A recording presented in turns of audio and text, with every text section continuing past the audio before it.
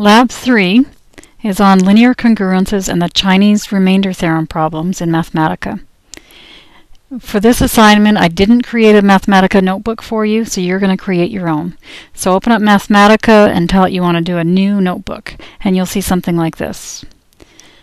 The next thing you might decide to do is to change the style sheet, just so it doesn't look quite so boring. This is optional. You can be boring if you want to, but I choose not to. So I'm going to go to Format and Style Sheet.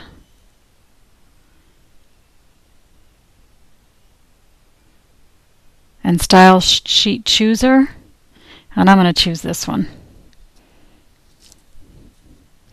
So the first command that you need to use is reduce. And that'll help you solve linear congruences. So here's how it goes. I might want to solve the linear congruence 3x congruent to 5 mod 7. So I'll say reduce, and then square bracket, and then I'm going to type 3x, and for congruence, I'm going to do equals equals 5, comma, and then I'm going to say modulus, M-O-D-U-L-U-S. We could have chosen it there. Make sure your M is capitalized. And then we want an arrow. And the way you can type your arrow is to type the dash or the negative sign, and then the greater than sign. And then when you press a spacebar, it will change those two symbols into an arrow for you. And the modulus is going to be 7 here. And then I'm going to close off my square bracket and shift enter to execute the cell. And the solution is 4 here, x equals 4.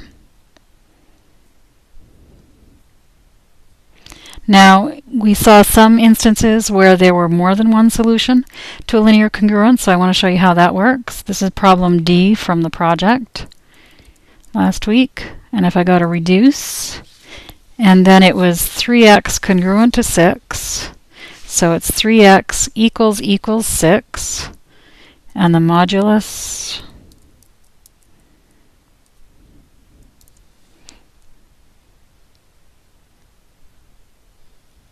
was 9, I think. Now it tells me x is 2 plus 3 times c1. Think of c1 as n. It's 2 plus 3n, where n can be any integer value. And the different solutions, mod 9, would be 2 and 2 plus 3, or 5, and 5 plus 3, or 8. After that, if you add 3 on again, you'll get to 11, which is the same thing as 2. So there are three solutions, and remember we talked about the theorem since the greatest common divisor between the x coefficient and the mod th was 3, and it divided evenly into to the constant, we'd expect three solutions. So if you have a problem like this, you want to make sure that you tell me the three solutions and notice it's even prompt, prompting me, do I want to convert this to text? And the answer is yes. So the three solutions are 2, 5, and 8. Modulo 9. And I would expect you to write the solutions out like that for me. Okay, so let's go on. If we want to solve a Chinese remainder theorem problem, we're going to make an uh, input cell and it's Chinese remainder and it even prompts us right we could choose that and then square bracket and then you want the curly braces for sets the first thing you're going to put in are the remainders the A1 the A2 and the A3 those the first column of boxes I had to do and we're going to look at remainders of 0 1 0, 1, and 2. And then you want set brackets and you want the, the mods that go along with those equations. So I'm going to put um, 4, 9, and 17 in here for my mods. And I will execute that and I get 172. So this is solving the system of equations x is congruent to 0 mod 4, x is congruent to 1 mod 9, and x is congruent to 2 mod 17. So when I take 172 and I divide by 4, the remainder is 0. That's good.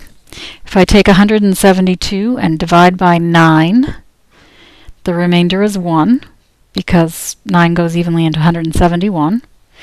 And if I divide 172 by 17, well, 17 goes into 170, so the remainder is 2.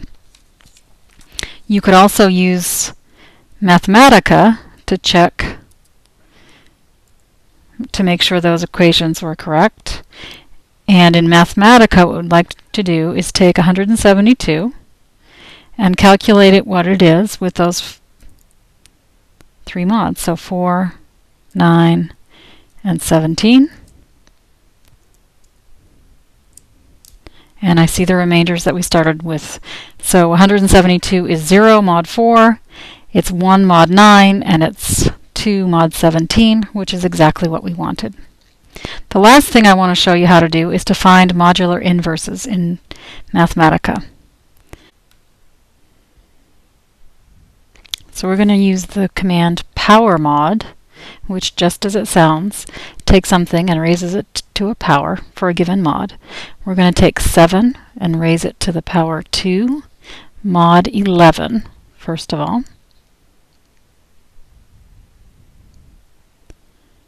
And we'll execute that cell. And 7 squared is 49. Mod 11 would be 5, because the remainder is 5. Now if we want to find the inverse of a number for a given mod, we'll choose the power to be negative 1. So now if I do power mod 7 to the negative 1 power mod 11 and execute that, we'll see the answer of 8 because 7 times 8 is 56 and 56 mod 11 is 1 which is exactly what we want. 7 and 8 are inverses because they multiply together to get 1.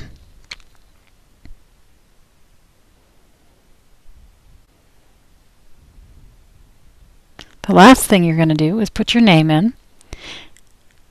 So I'm putting a cell in at the top of the document and typing my name in.